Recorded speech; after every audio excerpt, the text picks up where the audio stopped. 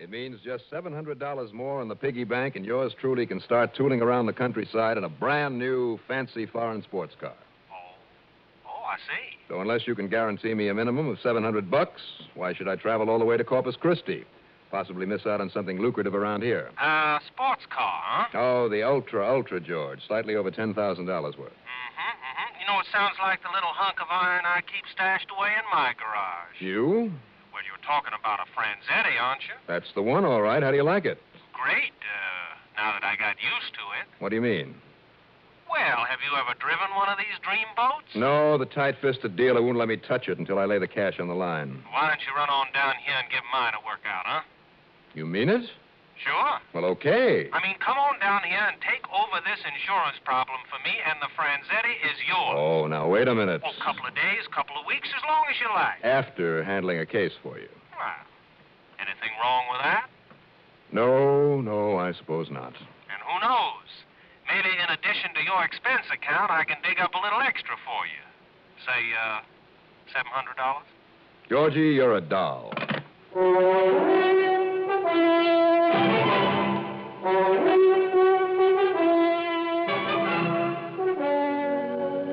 CBS Radio brings you Bob Readick in the exciting adventures of the man with the action packed expense account, America's fabulous freelance insurance investigator. Yours truly, Johnny Dollar.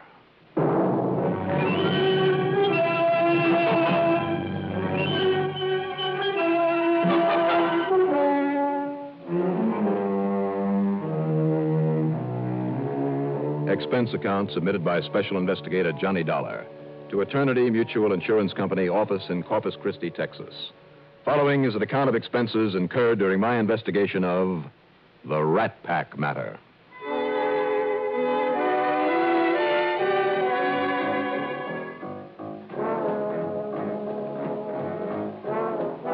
Expense account item one, 133.70. Taxi tips and plane fare to Corpus Christi.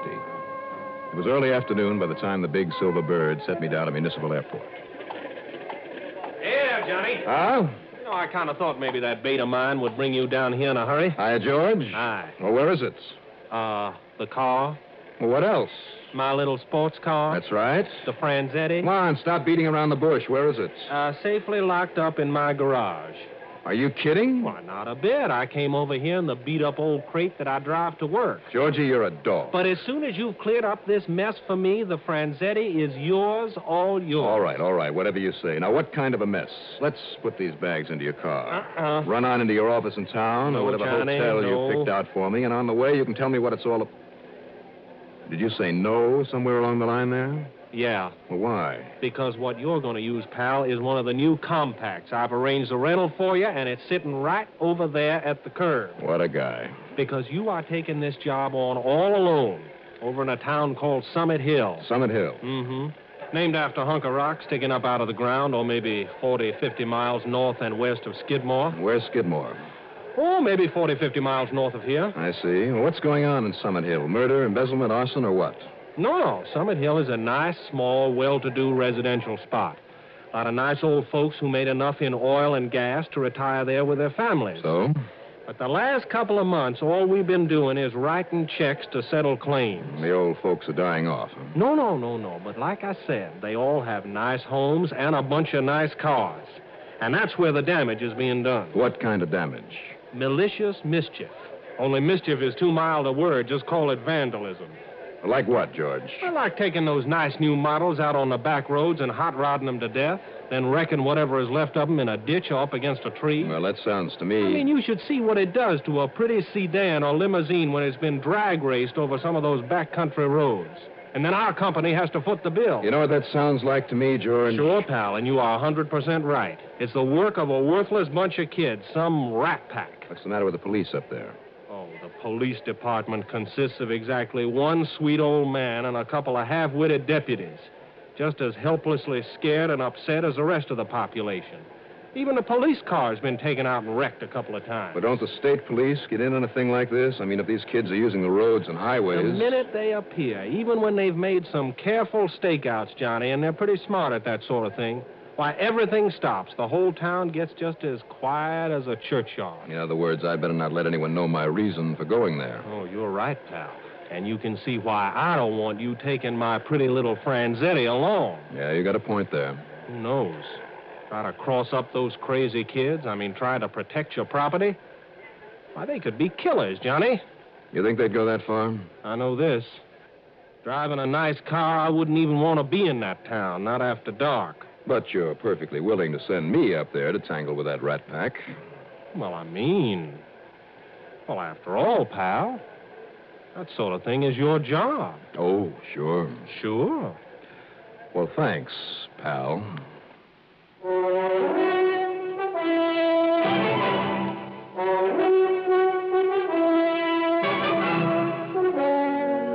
Expense account item two, 685 at a stationery store. I bought a large, impressive looking blank book with a fancy binding. For an extra buck, the stationer carefully stenciled on the cover the words Official Business, Federal Suburban Population Survey. Then I drove north to Skidmore, took the cut off, and finally ended up in Summit Hill. There, after going from house to house, asking questions, conducting a mythical survey, I got the impression that this community of six or seven hundred people might have been a very nice place to live. For the older people, that is. If it weren't for a gang of clever young troublemakers. Item three, three dollars for some gas. Well, tell you this, though, mister. Want me to fill her up? Yeah, yeah, fill her up. Tell you this. Those dirty, ornery kids try to mess around my car, take it out and wreck it. Well, I got a gun, mister, and I'd shoot first and ask questions after. That's what I'd do. Pretty bad bunch, huh?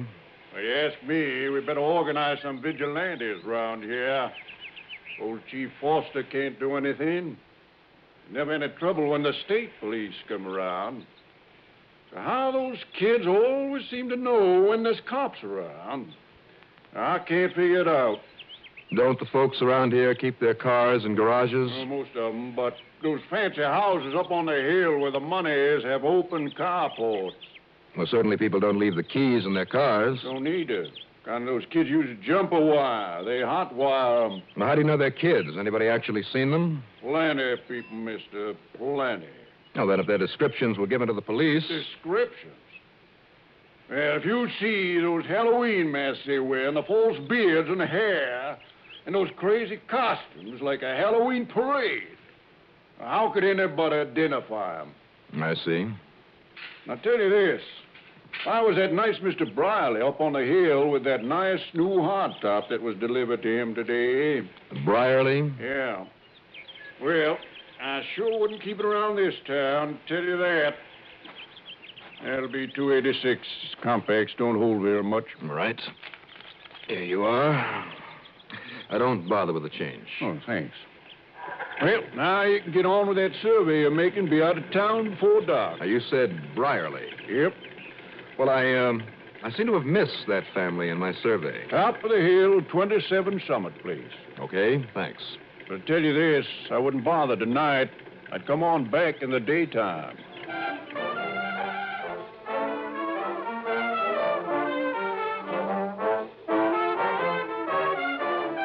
By the time I could grab a bite to eat, that's item four, $1.75, and get up to the Brierly home on the hill, it was well after dark.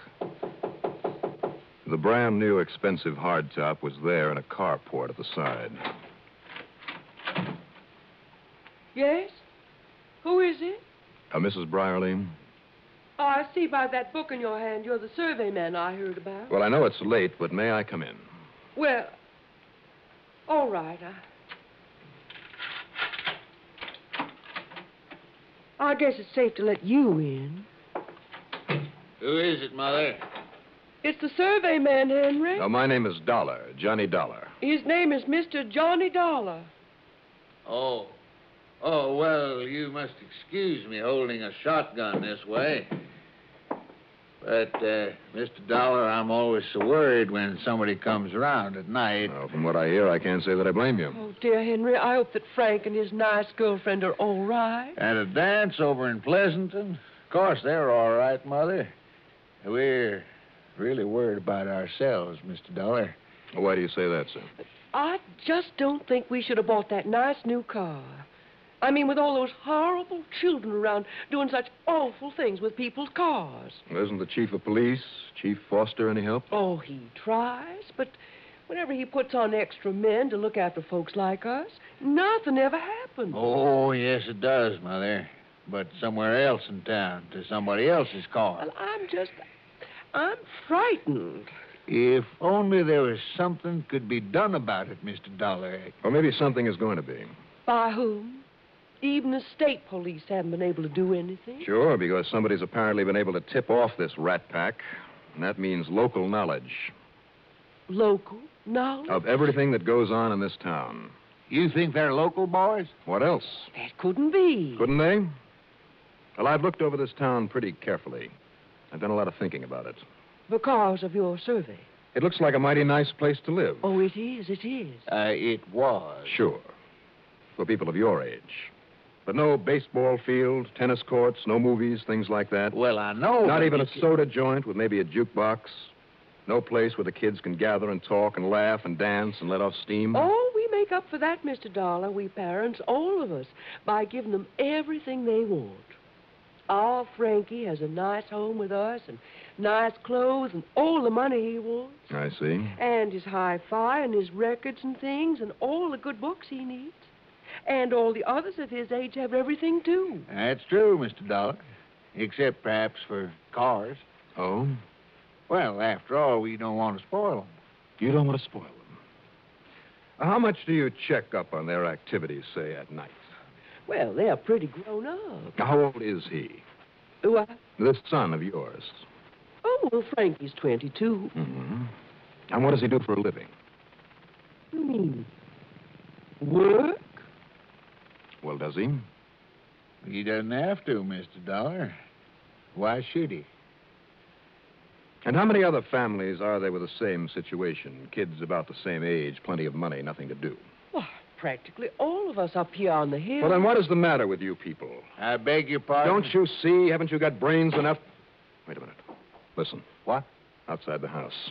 All right, now both of you stay right there. I hear it too, Mother. Somebody out at the carport. Oh, no.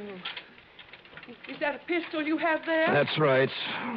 What's the matter with this thing? I can't get the chain off. Hey, it's that little pin I put on underneath there. I'll open But it. that gun, Mr. Open Dollar. it for me, will you? Maybe that awful gang out there. Of course it is. Will you open this door, Mr. Brierly, or do I shoot the chain away? No, no, I'll, I'll open it.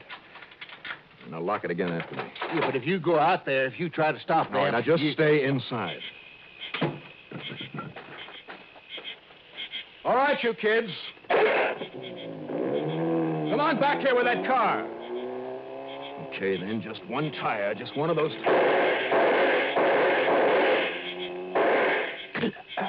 So now your gun is empty, huh? What? No, no, don't try to turn around, mister. This switchblade is very sharp. You turn around, it might just cut your throat.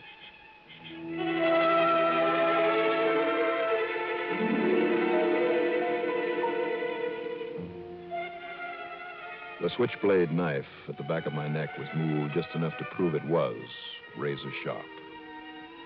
I could feel a trickle of blood go down the inside of my collar. Now, you see, man, I don't fool. Now, drop the rod. Drop it. Sure. Now, you pick it up, Gene, like we add that one to our collection. That's right.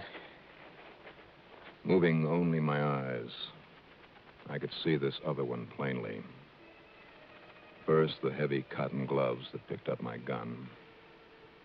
And then, standing there in front of me, the tattered blue jeans and sneakers, the grotesque rubber mask, the sloppy, dirty sweatshirt, on the figure of a girl. Now, why you try and spoil our fun, man? Okay, tough guy. Oh, oh, you mean no panic? You're not afraid of me. And you're pretty big with that knife in my neck, aren't you? huh? Well, it seems like you thought you were pretty big when you had that gun. Too bad you used up all those pretty bullets, man. But Jeannie knows what to do with it. Well, then you listen to me, Jeannie, whatever your name is. Oh, now, you think we use our real names on a caper like this? Any more we use our real faces, huh? Well, turn around real slow and see how you like my face. Don't you hear good? I said turn around, but slow and careful so maybe you don't cut your throat. So I started turning. Slowly. Slowly. But then, as I felt the edge of the knife leave the back of my neck, I swung out with my left and sent it spinning away. And then I drove a hard right into his midsection. Oh. But before I could turn again, my own pistol came crashing down on the back of my head. Ah!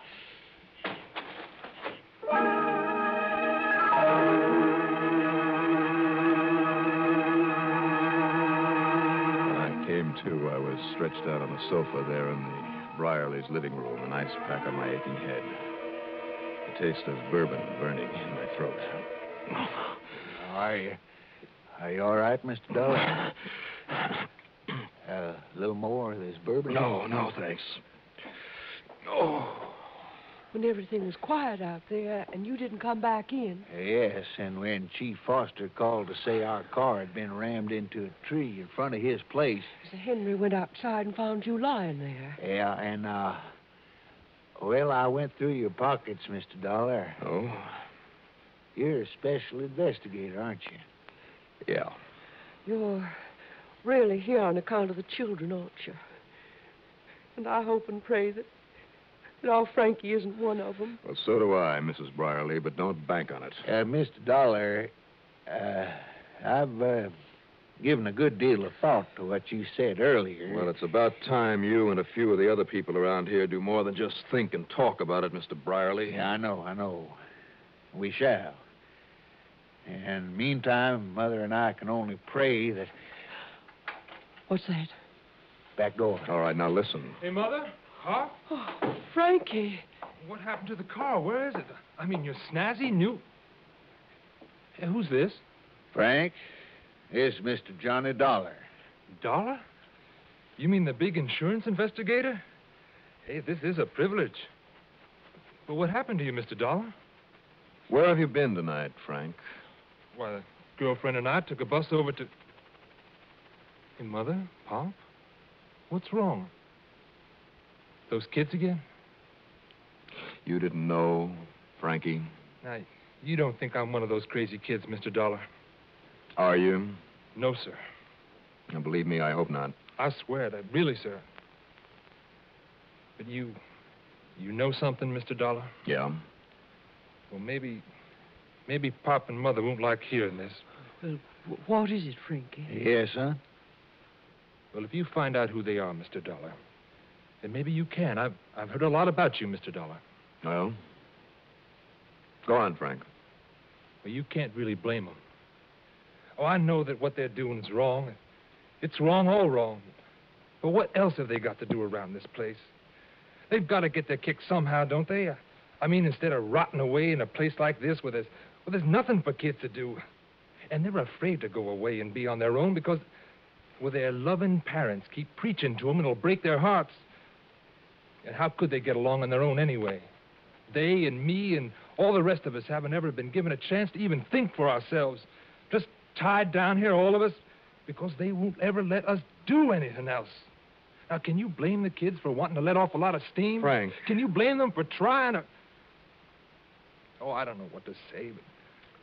But don't you see, Mr. Dollar? It's okay, Frank. We understand. Of course we do, darling. But now, please, you've become so overwrought. I'm perfectly all right, Mother. I'll fix you a nice warm cup of cambric tea, darling. No, Mother, please. Just let him work things out for himself, Mrs. Brierly, just once. Yes, but the poor boy's all upset. No, Mary, no.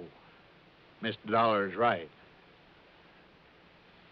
Now, Frank, Thanks, Mr. Dollar. it's all right. Now, it's pretty obvious that you know who the members of the Rat Pack are, even if you aren't one of them. I'm not, sir. On my word. But you know them. Now, you want to tell me who they are? Would you think much of me, Mr. Dollar, if I did?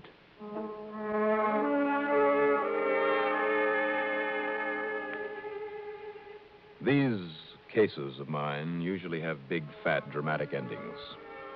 And the devil with any kind of a message. Well, not so this time.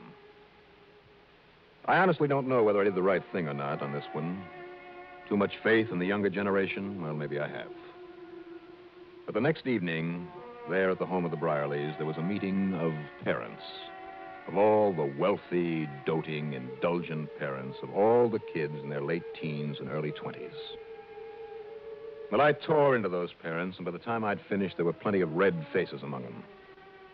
Incidentally, a couple of times out of the corner of my eye, I thought I saw the face of a teenager in the shadows outside one of the windows. What I said to those people in laying down the law to them. Well, I honestly don't remember exactly. But it must have given them a jolt.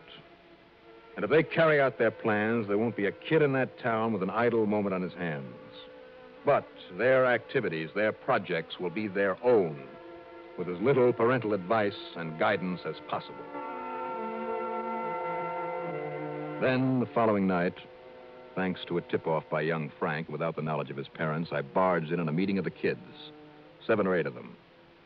As I might have expected, they were there in their foolish masks and makeup, knowing that I'd be among them.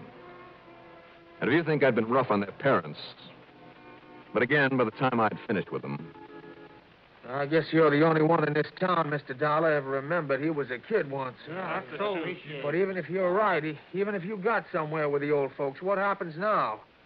We all go to jail for all those crazy things we did? well, I'd say that depends on you. You certainly might if you keep on with this silly juvenile masquerading. Well, what do you say, whoever you are behind that corny mask? Oh, okay, I'll take it off. Me too. See, Mr. Dollar, maybe you don't know it, but some of us heard what you said to our folks last night. Did you? Yes, sir, we did. And we heard what they're going to do, not, not for us, but, but with us.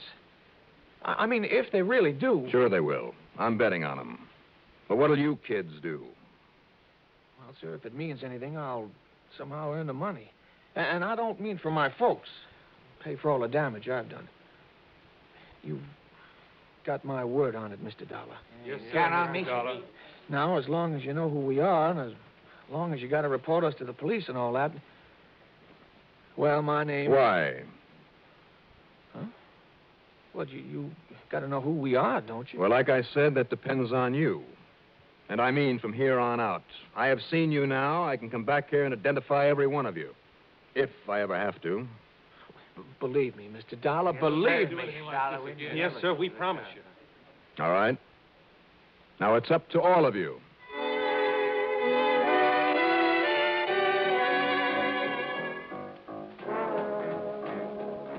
Well, I sure hope I did the right thing by simply leaving it the way it stood. And yet, what else could I have done? Have them all locked up for something that was only partly their doing? Try to make them into criminals? I don't think so. Incidentally, because of a call to get right back to Hartford, I never did drive George Franklin's Franzetti. But I did get that $700 fee, and that'll help me buy one of my own. Expense account total, including. Oh, what am I talking about? This one is on the cuff. Yours truly, Johnny Dollar.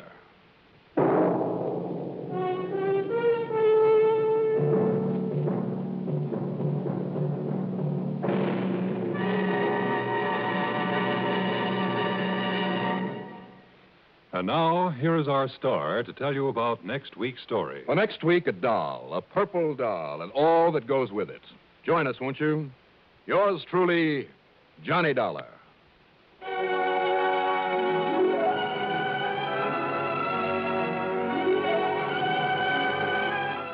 Yours truly, Johnny Dollar, starring Bob Readick, is written by Jack Johnstone, produced and directed by Bruno Zirato Jr.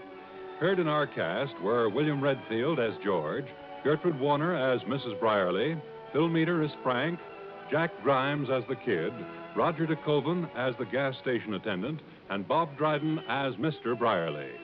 Be sure to join us next week, same time, same station, for another exciting story of Yours truly, Johnny Dollar. This is Dan McDonald speaking.